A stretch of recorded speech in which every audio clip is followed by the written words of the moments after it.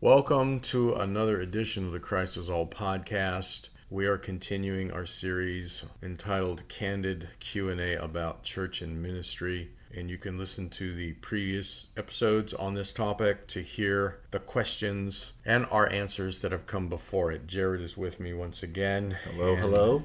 And the next question is how do you respond to criticism? I heard a man tell this joke once. A guy goes to a doctor and the doctor says, "You have a bad heart.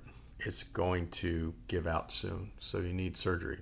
To which the guy responded to the doctor, I want a second opinion. And the doctor said, Okay, you're ugly too. and the point of that is not all opinions are legitimate, and not all opinions should be listened to. So, the first opinion you have a bad heart, you need surgery. It would be wise for the guy to listen to his doctor in that respect, with that opinion. But the second opinion, you're ugly, is irrelevant Mm. This guy is married. His wife thinks he's handsome and attractive. He would be wise not to listen to that opinion, right? So the fact is, not all criticism is the same, and not all criticism should be paid attention to. Mm-hmm. I have in my book, 48 Laws of Spiritual Power, a chapter entitled Distinguish Between Critics. It's law number 15. And I answered this question in some detail in that chapter. There are three kinds of critics there are the supporters, mm-hmm. there are the objectors, and then there are the toxic trolls. Just because somebody has access to two earbuds and listens to your podcast, for example, does not mean that this podcast is for them. Mm-hmm. All right. Yeah. So let's say that someone's listening to this podcast or the Insurgence podcast and they write an email that's critical and basically they want our podcast to be more like Joyce Meyer's podcast or TD Jakes' podcast or Joel Osteen's podcast or Rob Bell's podcast. Well, I'm not any of those people and this podcast is not for that group. Yep. So such a person ought to listen to their podcasts, right? I am speaking to a certain segment of the body of Christ. Books are the same way, messages are the mm. same way. All right. Yeah. Not all criticism is the same, and not all criticism should be paid attention to. Much of it should be ignored. Let me give you an example in the book realm. The greatest books that have ever been written, if you look at them on Amazon, they have tons of five star reviews but they also have many one star reviews. Mm-hmm.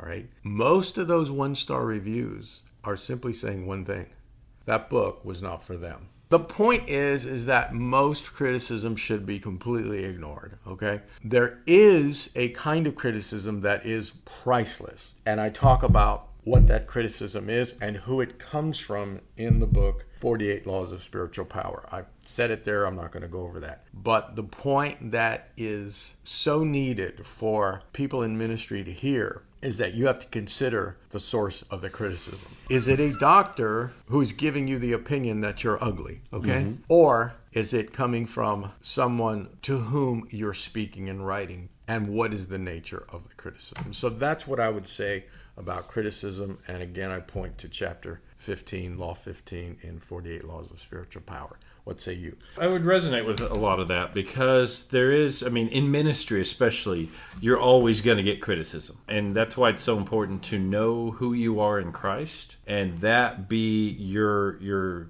anchor in those things there have been times when I've had criticism that I could look at the person and look at the rest of them, their life, and the rest of the things that they say, and I could say, well, this is I, I considered the source. That's I love that. My my wife's grandma Ruth, who I love dearly, would always talk about people, and she would just say when someone said something about another person, and her response is, well, consider the source, and that was that was it. You know, we move on from that. Mm-hmm. There are criticisms that I've had. There are hard conversations that have come to me that I listened to because I knew the people. Mm-hmm. I considered the source, mm-hmm. and so that's important. And I think if there are, if you ever have a time when you're trying struggling, well, I don't know about the source, and maybe this is accurate. Don't dwell on it yourself, but hopefully you have some trusted people that are the type that would bring you priceless criticism, like what you're talking about, um, like I do. Um, and one of the people that I usually go to if I have any question about criticism, if I am looking at like, well, I can't just disregard it because of the source. There may be some truth to it because I'm a fallible person. I go to them and say, "Hey, um, what have you seen of this?" Right. and they'll speak truth to me. Very when good. we've had had some some meetings with with the elders at my church where things come up, and they are people I trust. So I ask, is there any accuracy to this? I don't think there is, but this is important enough for us us to talk about, and they're honest with me. You know, having those people that you trust. Right. To help you, And they're supporters. through. They're Yeah, supporters. They're supporters. This brings up uh, another issue that's really related. It is the importance of getting clear on who you are speaking to. Who is your audience? And Yes. I say that it is wise to find the smallest viable audience and serve them mm. and almost ignore everybody else. Yeah. All right. And that takes time to get clear on who your audience is. I mm. know who my audience is. Yeah. My audience is not the masses of Christians that are following the celebrity pop preachers and teachers. That's not my audience. Mm.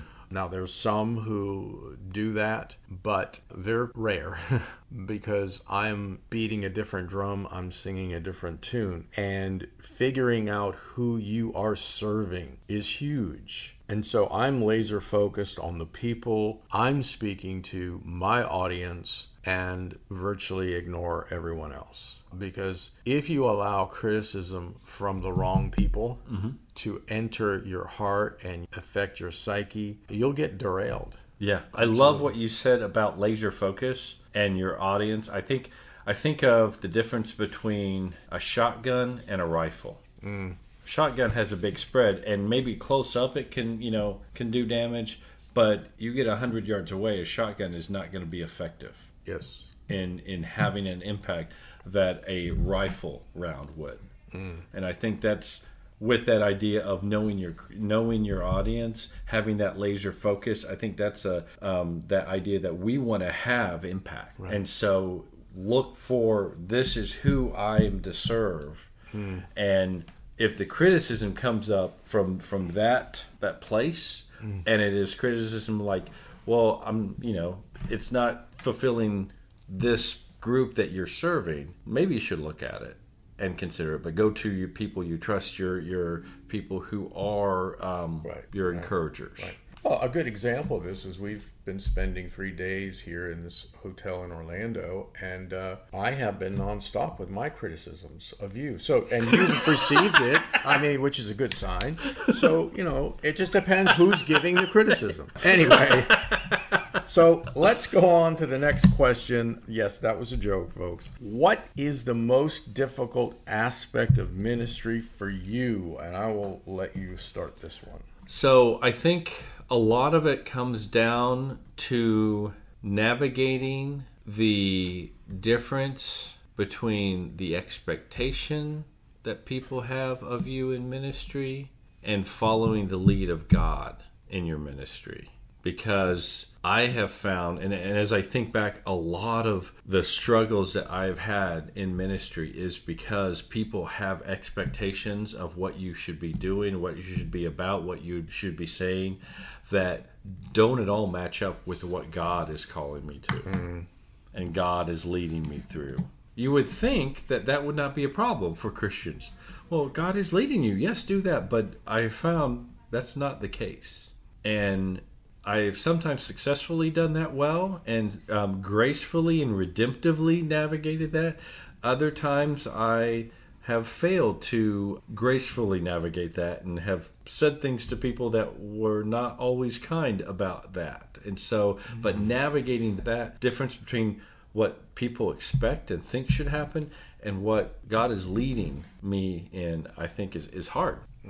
For me, I would say it's two things. In the way of content creation, and I'm a content creator, obviously, I have two podcasts that I drop regularly. I write an article every week. I have a network where I produce content, messages, articles, etc. I write books. Uh, I create courses. In the area of content creation, the most difficult part is the editing.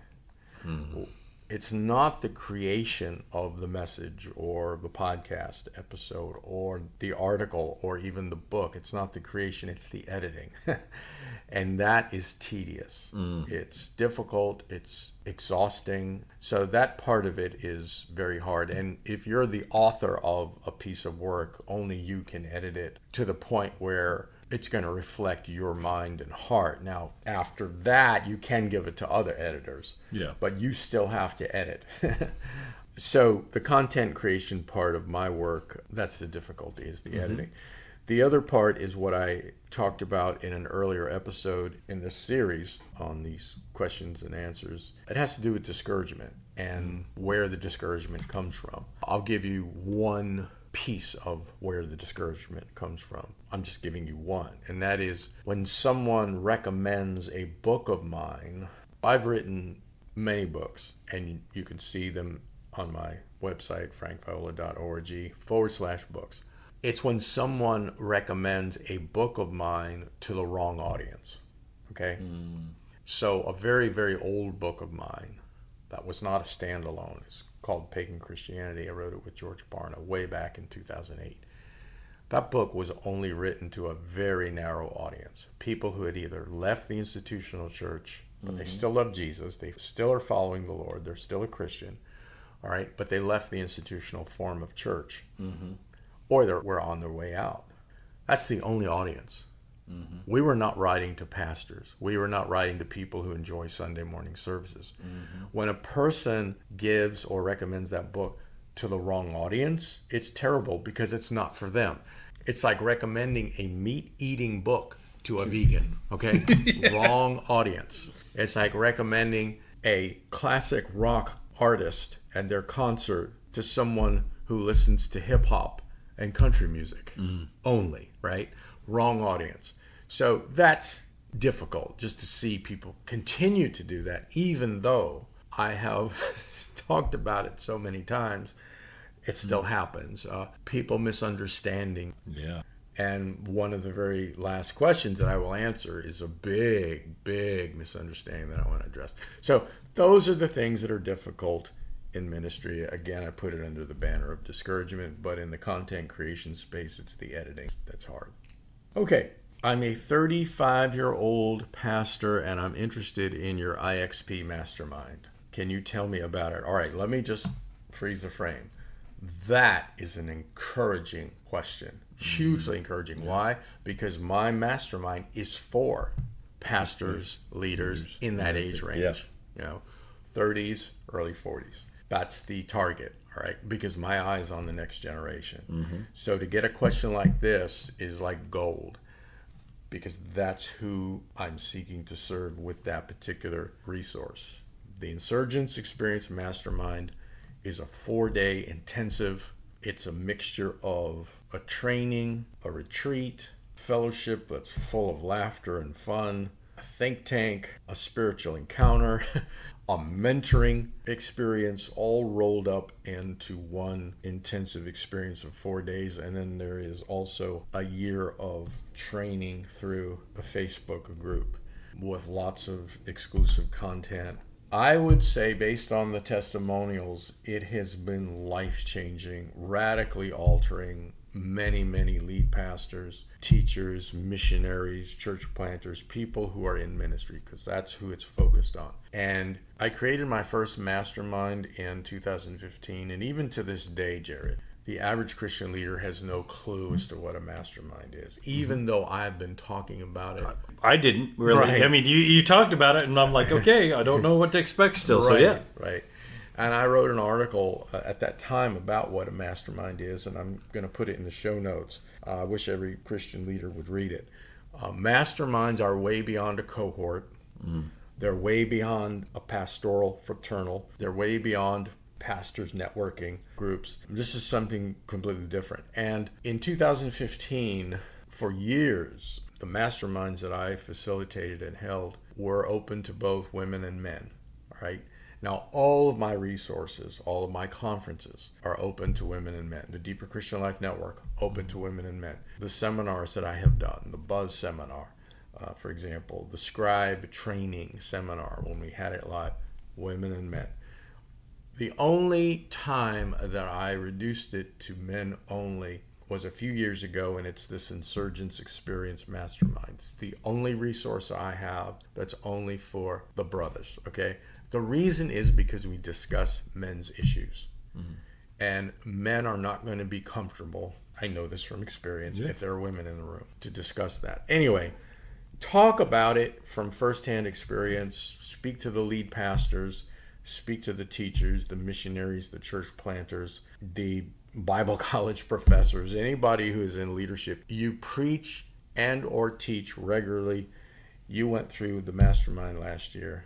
For me, it was a wonderful experience, and it was um, eye-opening. Like one of the things that Frank and I were talking about last night is how in the world did you end up in doing the mastermind? You know, it was really the spirit leading, but I had a connection with someone who had gone through it, and as I looked at it, I'm like, okay, this is what I need to do. You know, I just very clear to me as I talked to my friend and as I looked at it and I prayed about it. I'm like, okay.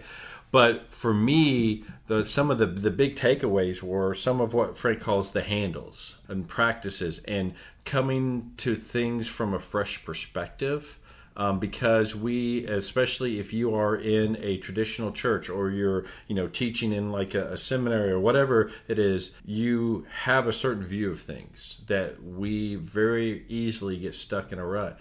And so, coming to this mastermind, to this experience, one of the things I loved about it is you had people from different walks of mm-hmm. ministry. Yeah. You know, you we had missionaries, we had people who were part of uh, a house church that were leaders there. We had pastors that were in traditional churches, in different denominations and different sizes of churches, mm-hmm. but we all came together and on equal footing we shared mm-hmm. life together and we we learned some of the handles and practices that that Frank employs and how that affects us. We we saw that firsthand because we for that intensive four days practice those mm. together in community. Mm. That's something for me that that was very formative.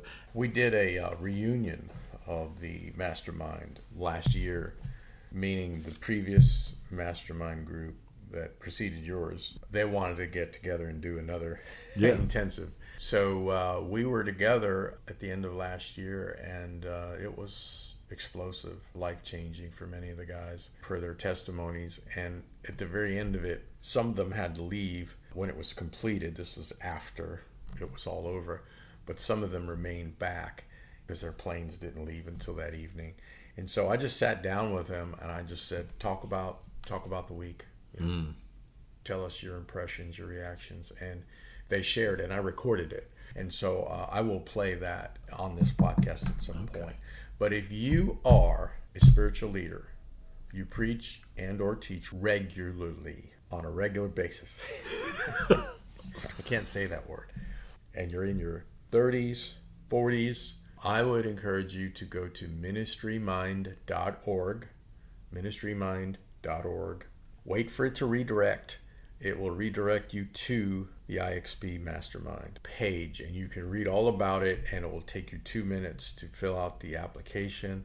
I encourage you to do so. If you're older or you're younger, say you're in your 20s and you're in ministry, or you're older, 50s, 60s, etc. We do have another edition of the mastermind that's all on Facebook, and you get a lot of the same content that the in person version has. I'm doing that right now with a group of 23 leaders. We don't have an in person component, but we are engaged going through the exercises, the trainings every week in that group. So there is that for you as well. And if you are a brother, a sister, but you're not in ministry and you want high level mentoring and connection, there is the Deeper Christian Life Network. Just type in the deeperchristianlifenetwork.com and you can join the waitlist and be a part of that when it opens. All right, next question. The research shows that the majority of pastors in the United States suffer from depression. And from my experience in ministry, this is true. Well, this is according to the pastor who wrote this in. What would you say to a pastor struggling with depression? I'll start with this. The first thing I would say to you is to evaluate whether or not God has called you to the present role you're in. All right? Mm-hmm. Let me explain that. There have been many, many men who I have talked to and had relationships with, even who knew they were called to the Lord's work mm-hmm. early in their life, at their conversion or post conversion. They had a call on their life, right? But the only options available to them, according to their knowledge, are you're either a pastor, a missionary, or a worship leader, or mm-hmm. someone on the worship team. That's Yep. it. Yeah. Boom, that's it. There's nothing else. So many of them opted for the pastorate. Now, this isn't true for every person, but for many of them, years later, fulfilling that role and going through depression, mm-hmm. they stepped back and realized that, wait a minute, they came to the knowledge that there are other ministries other than those three mm. pastor, missionary, worship leader. And so now some of them, they've left the pastorate and they are now in a ministry. Some of them are traveling teachers, mm-hmm. some of them are involved in church planting, some are involved in other aspects of ministry. And the depression's gone mm-hmm. because they were in the wrong role. It wasn't that they weren't called by God, it was the way they interpreted the call of God. So that's the first thing I would say to you. Evaluate if you are currently serving in the ministry that God has called you to, or if mm-hmm. you misinterpreted the call. That's the first one. The second thing is if you are where the Lord wants you, okay, it's vital that you have peers in your life. It's mm, vital that yes. you have some people to whom you can talk. Now, I will say this we just talked about the mastermind, the Insurgence Experience Mastermind. The very first time I did it, there was a brother who was a spiritual leader. At some point in the mastermind, he admitted to us all it was difficult for him to do, but he felt very safe with us because one of the things we do, all the masks come off. We're mm-hmm. not No. pretending to be religious and we don't talk differently and we're just ourselves. And he said, I have struggled with depression for many years and I mm-hmm. have suicidal ideation and it's very dark. By the time the mastermind was over and every one of the brothers was testifying about the impact it had, he said to us, I have not had joy mm-hmm. like this in eight years. That was the power of Christ centered community because one of the things we do is we encounter the Lord in Yeah. new and fresh ways. So that's one. And then another one is if you cannot get through the depression and you've tried many different things and, and if it was me here's what i would do. I would get on youtube and i would search everything i can find on depression not just coming from the christian camp psychologists therapists in the non-christian world. I mm-hmm. would look at all of it. I would study it from a to Izzard, I would learn everything I could about it. You know, brain chemistry, environmental factors, the way you were reared, everything. And I would become an expert in depression. And out of that, I would seek the Lord. I would ask Him to enlighten me as to how I can get over this. And that may lead me to see a therapist, which would require some research because not all therapists are equal. But uh, that's what I would say, all of those things together. And uh, I default to you now, Jared. One of the things I think about this question is, and and kind of even when you were talking about community, one of the the challenges of a pastor um, that results in pastors dealing with anxiety, dealing with depression, dealing with addiction, is a lot of times pastors find themselves more and more isolated. So that's that's the idea of making sure you have a community is vital, um, and I, I agree with the research. So mental health in my family is important. I have uh, my wife and my daughter both um, are neurodivergent. They um, suffer from obsessive compulsive spectrum disorder. Um, and so when when Frank talks about the research and, and learning as much as you can, that's what we've done. We know a whole bunch um, about how things affect my wife and my daughter, what things trigger, what things they can do with diet. I think that is a great, great thing to think through. Well, how do I how do I treat that? You know, what are some health issues? Am I exercising? Because that's one of the things they say that will help. I, I will say also, it's great to get help. You know, um, and I, I resonate. Like Frank and I talked a little bit about this, but to make sure you get the right help. Sometimes, you know, when we moved um, from Oklahoma, we had to find therapy options for my daughter and it took a while of doing the research looking through and finding someone who could actually do what was needed for pastors like and this is my personal experience when i have i've i've struggled with anxiety and anxiety and depression many many therapists and and psychiatrists look at them as two sides of the same coin mm, yeah. because they're very related but when i have seen therapists and psychiatrists i look for ones that are um, someone that I can relate to that are, are, are, Christians who happen to be therapists and they're um, faithful. And so for me, um, several years ago, when I was in um, Indiana, I was dealing with some anxiety through some of the things that we were doing and looking at my mental health. And so I met with one who was a former pastor who knew kind of where I was, knew kind of what was going on. That matters, you know. And so I, I think find that help mm. and find, you know, that some people have this idea that, well, if if I need help and I try it once and it doesn't work, then that means it just doesn't work for me.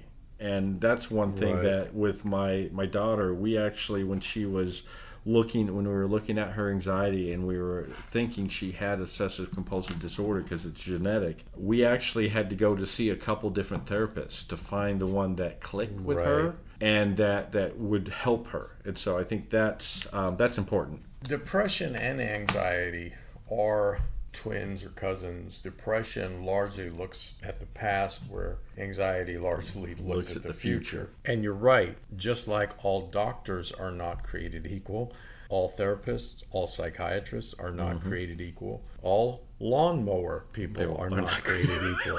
uh, so just because you see a therapist and maybe you don't see results does not mean that you should necessarily end there. And you know, Luke was a doctor.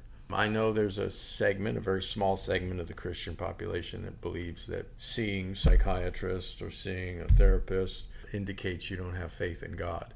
You can't really swear that with the New Testament, but that's another conversation. You should have no shame in any of these things.